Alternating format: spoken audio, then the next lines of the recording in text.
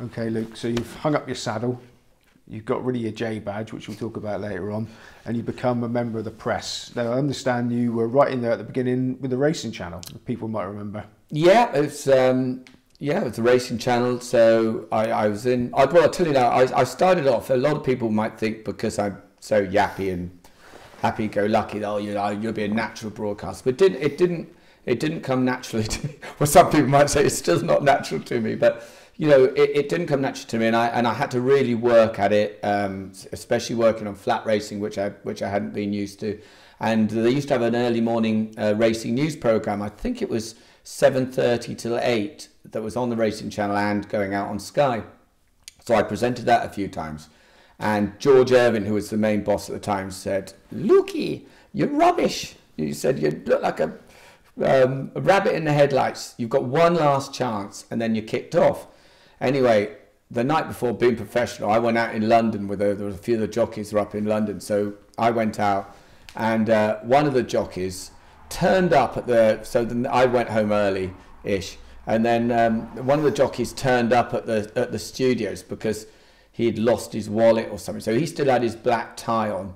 Um, and had cuts up down his arm or what have you. And he, he they let him in, so he was in the, the main gallery. So just as we're going on, so you imagine it. So this is my last chance in broadcasting. George Irvin's there going 10, 9, 8, and all I can hear in the um, the background is this jockey shout, "Don't mess it, beep beep up, Lukey boy!" And so I'm like nervous as hell. Anyway, luckily for me, that that half an hour racing news went well, and um, the rest, yeah, it's been uh, it's been it's been unbelievable how well I've done, really. Now, talking about what you've done, you intrigued me a bit earlier with the J badge. Now, you telling me that jockeys have got their sort of tweed-clad equivalent of groupies? there do seem to well, perhaps it was just because I had hair. I don't know what it was, but I definitely seemed to be a bit lucky, luckier with the fairer sex when I had breeches and boots as opposed to cords and a, hoodie. But um, yeah, was, uh, look, it's it's it is it's a wonderful, wonderful lifestyle. It's, it's slightly different to being a press man, that is for sure. Now, being a bookmaker's um, video channel, this is 18s and over. You got any particular stories about getting too sordid? Well, there are there are there are a number of, of decent stories. I'll tell, I'll tell you. What I will tell you. There's a, there's a particular lady that was. Um, we were driving through Hungerford one day, and uh, because I, when I was an amateur, obviously I had no money, and Captain Forster didn't believe in in giving, so I had to clip the horses for any money.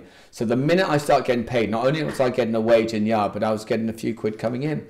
Anyway, so like anyone would when you've got a few quid coming in, I went out and bought a, a red XR3i with a Starsky and Hutch style white stripe down the side of it. So we're going through the middle of Hungerford on the way to Wincanton, and there's this lady coming along the, the, the pavement pushing a pushchair. And Carl Llewellyn wound the window down and said something not particularly polite to her. So we like wound the window up, like laughing, like giggling kids sped off. Anyway, we only went 100 yards down the road before those traffic lights were red. Anyway, this particular woman came up and uh, was banging on the window. We were just laughing like giggling kids. Anyway, then oh, my precious car, she put her hand in her, her handbag, got her keys out, and went down the side, all down the side of my brand new, my pride and joy. But um, no, that's um, that was quite a funny story. But no, the, with the women's side of it, bear, bear in mind my, my marriage lasted about 10 months. it hasn't been particularly successful for me. yeah, what has been successful has been your broadcasting career. So we now find you on, you know, national TV, ITV Racing. I mean, what, what are the what do you love about your current lifestyle and job? Well, I, I was lucky. I, as I said, I worked on the racing channel, and then a, another big turning point for me was um, I was sitting at an awards do, and the guy next to me was the producer on Radio 5 Live, and we said we need someone to do the early morning bulletins. So I agreed to do that, so, which meant I had to leave here at half past three every morning to get there to do a half past five bulletin, and then work till nine, and then I used to drive on to the races. Um, it was never gonna it, it was never gonna last in the sense of you know I got to stage one day going to Leicester I fell asleep at the traffic lights you know, I, I was just I was just absolutely exhausted. But but working for Five Live, opened my eyes to a to a wider audience and the fact that you know, racing jargon people just don't understand. So it taught me an awful lot about life, and I, I really enjoyed working with Nicky Campbell, and I, I realised how limited my vocabulary is, and how sharp those real, you know, good journalists are. And um, yes, I worked for them, and then and then after that, you know, at the races started, and I was working for them, and then I, I got the you know, another big break really when when ITV asked me to become part of the team. So it was. Um, I was, I, enough, I was down the road, uh, sat in a pub garden having lunch, couple of beers, and then I get a phone call off Richard Willoughby. Do you fancy being part of the team? And um, I was obviously uh, absolutely delighted. Um, they offered me uh, 15 days a year uh, with ITV, and then um, we did the practice day, and it, it went really well for me. And they came back and said, "We'd like to adjust your contract. We'll give you 50 days." So that was you know, I hadn't even we hadn't even started. So yeah, and, and it, it was it was brilliant. Now, the other thing that was nice is that you'd think that the, at the races might be a bit sort of their noses put out of joint, but they seem they seem genuinely pleased that that you know Chappers, me, and and and Weave and Fitzy were working for terrestrial television as well. Yeah, and that's quite good that you didn't have to turn one in to do the other one. No, I mean at the races or as as Sky as it's going to be is has been massive part of my life. Um, and so yeah, I mean, I, I won't I won't pretend it's you know it it's been easy to dovetail the two, but um, you know I'm a better man when I'm working. I think I'm not, I'm not I'm not great when I'm idle. No, you you're the you're known as the happy chappy. You're always smiling. You're always joking, and I can vouch that even you know this normal life you're exactly the same. Uh, but you, do you think you're a bit of an easy target sometimes for people with a chip on their shoulder? And do you think maybe getting at you on social media and stuff is a way of sort of trying to deflect from their own inadequacies? Do you know, I, I, some people some people say this but don't really mean it. Uh, it doesn't affect me in the slightest. I, I know when I was riding, when I'm broadcasting, I know when I've I've I've I've done a good interview.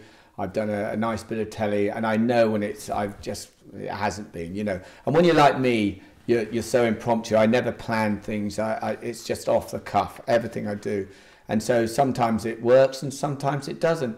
You know, people people people are perfectly entitled to their own opinion. You know, now I, I notice some jockeys getting annoyed when they get abuse on on Twitter. You know, if you want to use social media, you've got to accept that you're going to get abuse. You know, there are a certain amount of people that will like you, doesn't matter as a person, let alone a broadcaster or a jockey. And there are a certain amount of people that won't like you. So if, everyone's entitled to their opinion. Are there any people on the team that really can't take it? Oh, I don't know. There's, there's some people who love it, and some people. But if you want to use social media, you know, I, I, I can't remember you know, this this bullying of jockeys. You know, some things, some things, obviously, when they say things about your family, you know, that that that is awful and it's above you know i would when when we're in at the races jason weaver and i laugh when we do our friday night program. Majority of emails we get are all fun and could you say hello to so and so in the pub in county meath or what have you and, and it's all good. And, and some and some really interesting emails as well. And then you get some saying I, I hope you have a car crash on the way home or i hope that horse dies you know and you're thinking what sort of person would but you'd be you would be amazed how many of those you get. Do you ever feel like uh, reading about and naming and shaming these people? Yeah, we don't. We, I mean, we get one guy that comes on on Get In program. Literally, it's the first email. This is drivel. We hate. I hate this program. And he continues to email throughout the whole night. So he watches four hours of us two giggling like idiots. And um, look, everyone's entitled to opinion, and I, I don't have to agree with it, as long as it doesn't it doesn't affect me. I promise you. That people sort of may not think about that, but four hours of live TV that must be quite difficult, really, to keep it up for the for that time. Or do you find that it comes naturally? Keeping anything up for four hours is hard. no, um, no. I don't, look, I, the that again. You, you, have gone through it, so it makes it. It sounds repetitive, but there's always certain flashpoints in everyone's life that that you see as turning points. You know, I mentioned you know to burn a Lord and Cool Ground, and I mentioned Radio 5. Uh, but then the, the next stage was the Get In program, which you know, started. You know, uh, Rob Dakin and, and, and Paul Cooper, who was the producer then, is now uh, the producer on, on ITV, started that, and it was just it was just literally me and Jason Weaver sitting there having a laugh, looking on the bright side. People finish work on a Friday night. You know, the, the, the racing Dundalk and, and Wolverhampton, it's not high class. You get some decent races at Dundalk sometimes, you know, on, on a Friday, but it's not high class. And, you know, you can say, why say you're trivializing everything. People have had a long, hard week. They just want to relax. And it's, it was, it's probably the one single program that has been you know, I, I wouldn't have got I wouldn't have got ITV if it wasn't for that. Um, Jason probably wouldn't have either. So it took us it took us to a, a different level. Um, yeah, and sometimes it's hard work being a clown for four hours, but yeah, I've been practicing for 52 years, but but no, it's it's it was it, it's been a it's been a massive help to my career.